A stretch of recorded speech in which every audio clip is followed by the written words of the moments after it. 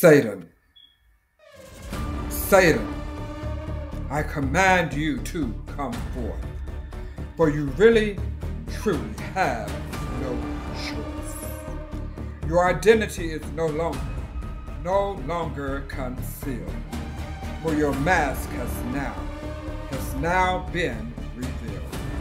I command you to take off, to take off your mask. Your job has ended here at last. You had me on the run for such a long time. Your whole has now been revealed, revealed and released from my mind. Sometimes I see you as you approach, as you do your job from pillar to post, destroying homes, families, and lives by any means necessary, sometimes with knives.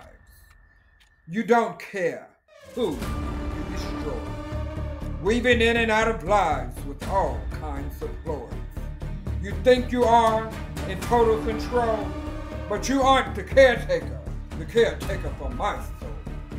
Sometimes I'm not ready for the things that you do, and all of the pain, the pain you bring with you. But other times I'm stronger stronger you think.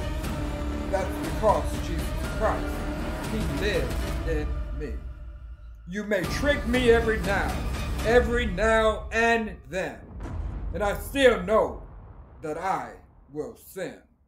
But I know that you have, you have no love for me. So why don't you just let me be? Satan, you have no control and you can't have.